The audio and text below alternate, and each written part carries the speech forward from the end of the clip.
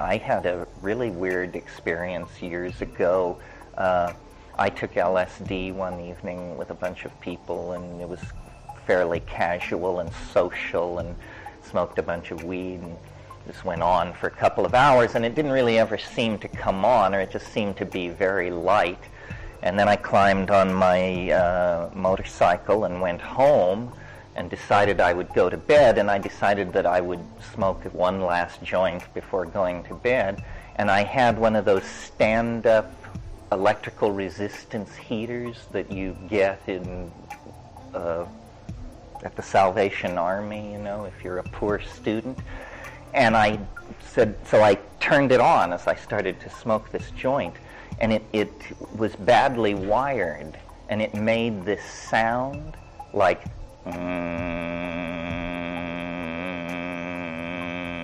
and as I began to listen to this sound, I like went to lizard land and I entered into this completely coherent thing which lasted for hours about this world inhabited by these intelligent reptilian beings.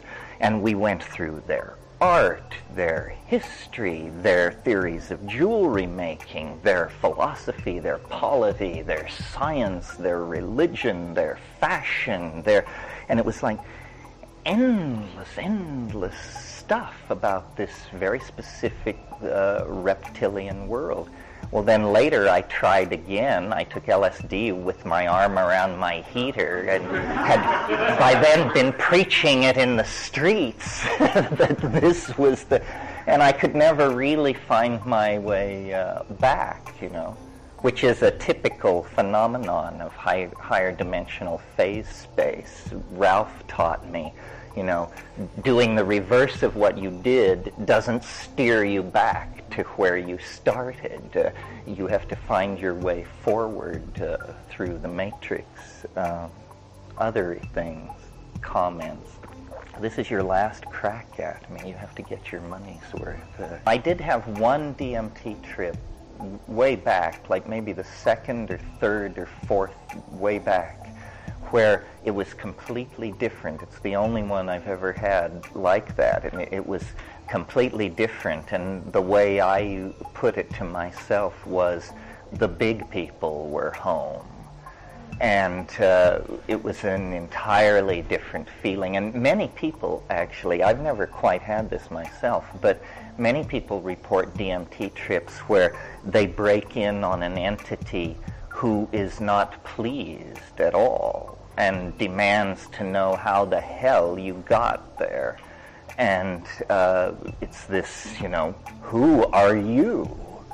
And uh, you know, then various sorts of dialogues go on, and one person described being then just hurled through all of time, like exploded back from this thing and going through all the recapitulation of ontogeny, and uh, it's weird stuff.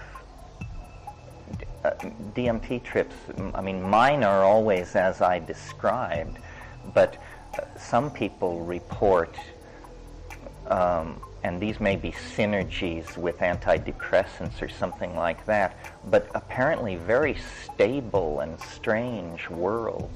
I mean, worlds with alien peoples and animals and cities and, um, you know, very science fictiony stuff. That's why. Uh, this Bell's theorem, I don't think we use that word, but this non locality that we talked about may have something to do with the phenomenon of the imagination. Like it's occurred to me over the years that what we call imagination might simply be hyperdimensional perception, and you're actually seeing uh, worlds and places that truly exist somewhere scattered through the galaxies like grains of sand, but no place you will ever contact or visit in the flesh, but that the data is somehow present. There seems to be some kind of tuning thing that needs to go on. You know, possibly with technology.